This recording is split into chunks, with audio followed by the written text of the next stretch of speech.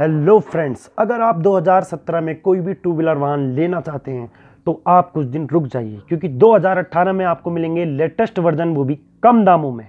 दोस्तों, हमारे साथ जुड़े रहने के लिए हमारी वीडियो को लाइक कीजिए शेयर कीजिए कमेंट कीजिए। और हाँ दोस्तों सब्सक्राइब करना ना भूलें, क्योंकि हम आपको फ्यूचर में बताएँगे इन गाड़ियों से रिलेटिव प्रॉब्लम के बारे में सोल्यूशन तो हम आपको सोल्यूशन तभी बताएँगे जब आप हमें कमेंट में बताएँगे कि आपका सोल्यूशन क्या चाहिए। देखते हैं 2018 की बेस्ट बाइक जो हमें लेनी चाहिए।